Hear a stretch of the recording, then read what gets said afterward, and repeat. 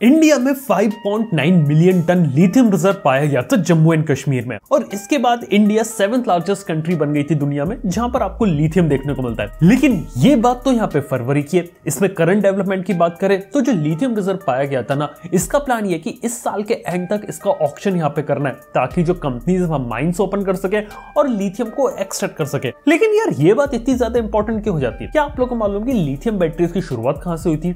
USA से। दुनिया की सबसे पॉपुलर इलेक्ट्रिक कार कंपनी कौन सी? एलॉन मस्क की टेस्ला और वो भी एक यूएस बेस्ड कंपनी है। लेकिन क्या ये बात आपको मालूम है कि दुनिया की 80 परसेंट लिथियम बैटरीज कहाँ बनती है? या फिर दुनिया की 50 परसेंट से ज़्यादा टेस्ला कार्स कहाँ पे बनती हैं?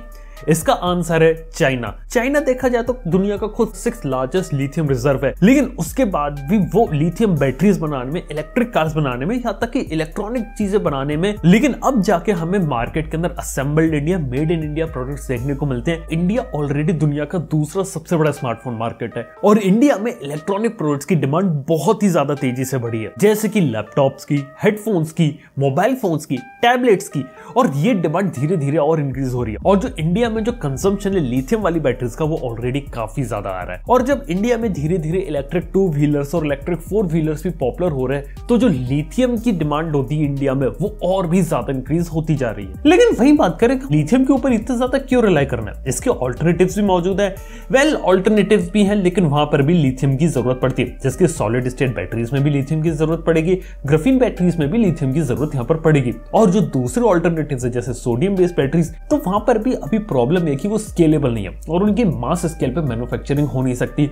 और अभी भी काफ़ी सारे जो ऑल्टरनेटिव है, वो रिसर्च एंड डेवलपमेंट फ़ेज़ के अंदर चल रहे हैं। तो काफ़ी लंबे समय तक हमें लिथियम के ऊपर ही रिलाई करना पड़ेगा। क्योंकि जैसे जैसे फ्यूचर में डिमांड बढ़ेगी प्रोडक्ट्स की, वैसे वैसे लिथियम बैटरीज की भी रिक्वायरमेंट बढ़ती चली जाएगी। और इंडिया के लिए इतना इंपॉर्टेंट यहाँ पर इसलिए भी है, क्योंकि इंडिया ने पास में काफ़ी सारी चीज़ों के अंदर डिले हो गया। जैसे कि हम अक्सर बात करते हैं मेड इन इंडिया आईफोन की मेड इन इंडिया स्मार्टफोन्स की, लेकिन फिर भी हमें पता है कि मेजोरिटी जो फोन्स होते हैं इंडिया में वो एक्चुअली में असेंबल होते हैं, बाहर से कंपोनेंट्स आते हैं और वो इंडिया में जाके असेंबलिंग होती है। लेकिन ये चीज़ तो अभी शुरू हुई है। आज से कुछ साल पहले तक सभी के सभी phone completely made in China होते थे। लेकिन अब जाके असेंबलिंग हुई है। लेकिन फिर भी हम जो काफ़ी सारे कोर कंपोनेंट्स होते हैं, वो नहीं बना पाते। वो हमें टाइवान से काफ़ी सारे माइक्रो प्रोसेसर्स को इंपोर्ट करना पड़ता है, या फिर हमें अलग अलग कंपोनेंट्स को चाइना से निकालना पड़ता है। हम जो बेसिक चीज़ें इंडिया में सिर्फ़ वही बना पाते हैं। लेकिन अब स्मार्टफ़ोन के बाद जो अगला रिवोल्यूशन आ रहा है ना, वो आ रहा है ईवीज के अंदर। और इन इलेक्ट्रिक व्हीकल्स की मैन्युफैक्चरिंग में हम ऑलरेडी एडवांटेज ले सकते हैं। और ऑलरेडी इंडिया ने इस चीज़ का एडवांटेज लेना शुरू भी कर दिया। जैसे कि आप लोग को पता है कि इंडिया में जो इलेक्ट्रिक व्हीकल्स मिलते हैं, उनको यहाँ पे सब्सिडी मिलती है। कई स्टेट गवर्नमेंट भी सब्सिडी देती है, कई बार सेंट्रल गवर्नमेंट भी देती है। और यहाँ पे इस चीज़ को बोला गया था फेम टू सब्सिडी जिसका मतलब ये था कोई भी अगर इलेक्ट्रिक व्हीकल अगर उसकी मैन्युफैक्चरिंग अगर इंडिया के अंदर हो रही है और मेजोरिटी जो कॉम्पोनेंट्स है,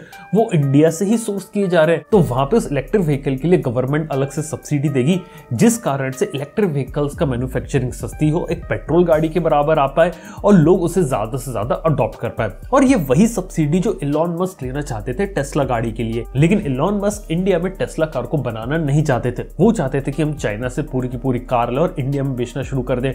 और जो इंसेंटिव यहाँ पे दूसरी कंपनीज़ को मिल रहा है, जो कि इंडिया में अपनी गाड़ियाँ बना रही है, वही सारे इंसेंटिव भी टेस्ला लेना चाहती थी। लेकिन इसको मना कर दिया गया और उनको कहा गया कि टेस्ला गाड़ी को अगर वो सारे बेनिफिट चाहिए तो उन्हें इंडिया में अपनी कार को बनाना पड़ेगा। और इसीलिए टेस्ला कार आपको अभी तक देखने को नहीं मिल पाई इंडिया में। लेकिन इसके कंपैरिजन में जो दूसरे इलेक्ट्रिक व्हीकल मैन्युफैक्चर है स्पेशली जो इलेक्ट्रिक टू व्हीलर्स बनाते हैं ना, जिसमें से एथर ओला इलेक्ट्रिक टीवीएस बजाज चेतक या हीरो की विडा ले ले, ये सब इंडिया में अपने इलेक्ट्रिक व्हीकल्स को बना भी रही है। प्लस इनके अंदर जो मेजोरिटी कंपोनेंट्स लग रहे हैं, वो भी इंडिया से ही सोर्स कर रही है। सिर्फ़ एक मेजर कंपोनेंट को छोड़ के, और वो होता है लिथियम बेस्ड बैटरीज और गवर्नमेंट ने इसीलिए यहाँ पे इन कंपनी को सब्सिडी दी थी, क्योंकि कोई भी इलेक्ट्रिक व्हीकल लोगे ना, उसकी लगभग 40 टू 50 परसेंट जो कीमत रहती है, उसकी बैटरी खा जाती है। क्योंकि जो बैटरी के सेल्स होते हैं, वो इंडिया में नहीं बनते। ये कंपनी चाइना या कोरिया से बैटरी सेल्स को इंपोर्ट करती है और इंडिया में उनको आपस में जोड़ के बैटरी पैक को यहाँ पे बनाती है। और इसी चीज़ को प्रमोट करने के लिए वो लोग सब्सिडी लाए थे कि जितनी बड़ी बैटरी लगाओगे, उतनी ज़्यादा आपको यहाँ पे सब्सिडी देखने को मिलेगी।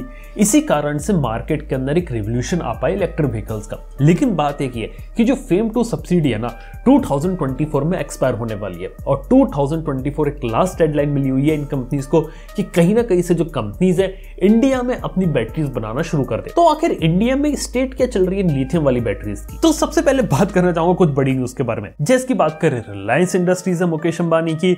वो तो आज के समय में अपनी खुद की गीगा फैक्ट्री यहाँ पे बना रहे हैं। जी हाँ दोस्तों, उनकी गीगा फैक्ट्री आने वाले समय बनने वाली है। और जिस तरीके से जियो रिलायंस यहाँ पे ग्रो कर रहे हैं तो वो भी इलेक्ट्रिक व्हीकल वाले मार्केट को छोड़ना नहीं चाहते। अपने चार्जिंग स्टेशन और बैटरीज के कारण इस मार्केट के अंदर भी कूदना चाहते हैं। खैर, उनकी गीगा फैक्ट्री तो भी बन रही है। लेकिन क्या आप लोग को मालूम है कि इंडिया के पहले लिथियम आयन मैन्युफैक्चरिंग प्लांट का इनोग्रेशन ऑलरेडी पिछले साल आंध्र प्रदेश में हो चुका है? इसके साथ ही इंडिया की पहली made in India lithium battery cell भी कंपनी यहाँ पे निकाल चुकी है और वो है log nine long nine already produce कर रही है लिथियम बैटरी सेल्स को, जिसका यूज़ किया जाएगा इलेक्ट्रिक टू व्हीलर और इलेक्ट्रिक थ्री व्हीलर जी हाँ दोस्तों ऑलरेडी चीज़ अचीव की जा चुकी है और आने वाले समय में दूसरी काफ़ी सारी कंपनीज़ भी अपनी गीगा फैक्ट्रीज को ओपन करेंगी या फिर कुछ ज्वाइंट वेंचर कुछ पार्टनरशिप करेंगी, जिस कारण से लिथियम वाली बैटरीज का प्रोडक्शन 2024 से पहले इंडिया में शुरू हो जाए। जिसके बाद से मार्केट में जो इलेक्ट्रिक व्हीकल्स होते हैं, उनकी कीमतें भी कम होंगी प्लस वो मार्केट में उनकी अवेलेबिलिटी भी ज़्यादा बढ़ेगी और मार्केट में और भी ज़्यादा ऑप्शन आएँगे। जो इलेक्ट्रिक व्हीकल का रिवोल्यूशन है ऑलरेडी टू व्हीलर्स में हम देखना शुरू भी कर चुके हैं। जिस तरीके से पेट्रोल टू व्हीलर की सेल डिक्लाइन जा रही है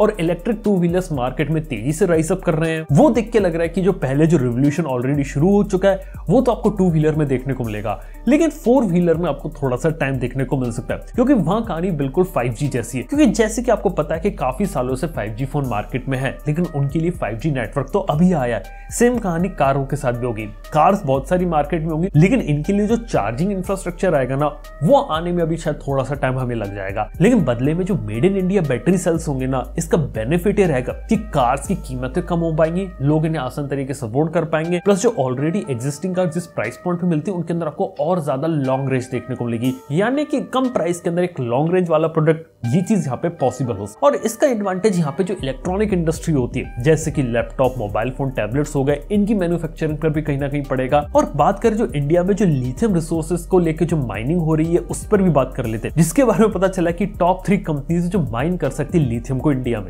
जिसमें से एक होगी नेशनल एल्यूमिनियम कंपनी नेल्को फिर होगी मिनरल एक्सप्लोरेशन कॉर्पोरेशन और हिंदुस्तान कॉपर लिमिटेड इसके साथ ही आयरन और माइनर एनएमडीसी ने भी कोई पार्टनरशिप करी है ऑस्ट्रेलियन कंपनी के साथ लिथियम को एक्सपोर्ट और माइन वगैरह करने के लिए। लेकिन हमेशा इलेक्ट्रिक व्हीकल के साथ हमेशा एक चीज़ जुड़ती है, वो है पॉल्यूशन की। देखो, यहाँ पे सबसे पहले तो चार्जिंग वाली बात करना चाहूँगा। इंडिया देखा जाए तो इस समय third largest country renewable sources of energy में सोलर विंड पावर का यूज़ किया जाता है और यहाँ पे 40 परसेंट जो एनर्जी प्रोड्यूस की जाती है वो की जाती है रिन्यूएबल सोर्सेज के साथ, जो कि आने वाले समय में और ज़्यादा इंक्रीज होगी और जैसे जैसे कोल के ऊपर डिपेंडेंसी कम होगी, वैसे वैसे हम एनर्जी को और ज़्यादा प्रोडक्शन कर पाएँगे। तो ये एक एडवांटेज है इसके साथ। इसके साथ ही जो लोग इलेक्ट्रिक गाड़ी यहाँ पे यूज़ कर रहे हैं, वो अपने घर के ऊपर सोलर पैनल्स भी लगा सकते हैं। जिस कारण से वो अपनी गाड़ी को अगर यहाँ पे चार्ज करेंगे तो वो टोटली यहाँ पे क्लीन होगी। लेकिन इसके बाद एक और प्रॉब्लम आती वो आती माइनिंग से जो नेचुरल रिसोर्सेज खराब होंगे और जो पॉल्यूशन क्रिएट होगा, उसका क्या?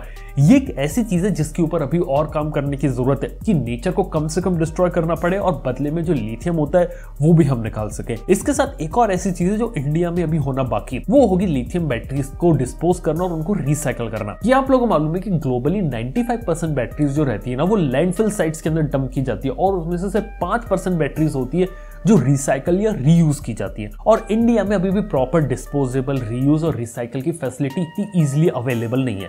तो यहाँ पर भी थोड़ा काम करने की ज़रूरत है कि लिथियम बैटरीज तो है, लेकिन बैटरी एक बार खराब हो जाती तो वो कंप्लीटली यूजलेस नहीं होती। उसको डिस्पोज और उसको रिसाइकल करके और इसको एडवांस किया जा सकता है। तो ये भी एक ऐसी चीज़ है जहाँ पे आने वाले समय में और भी ज़्यादा काम करने की ज़रूरत है। लेकिन इंडिया में लिथियम यानी कि व्हाइट गोल्ड का होना एक बहुत बड़ी बात हो सकती है। बाकी आप लोगों से भी एक रिक्वेस्ट है। काफ़ी सारे इलेक्ट्रॉनिक गैजेट जब आपके खराब हो जाते हैं ना तो देखिए आप उन्हें रिसाइकल वगैरह कैसे कर सकते हैं और उनको यहाँ पे यूँ ही फेंके नहीं। बाय द वे वीडियो आप लोगों को कैसा लगा ये बात नीचे कमेंट बताना। भूलो और यहाँ पे कुछ वीडियोस है, उनको भी जाके आप यहाँ पे चेकआउट कर सकते हैं। थैंक यू आपका वीडियो देखने की मैं आप सुनता हूँ नेक्स्ट वन के अंदर। Good bye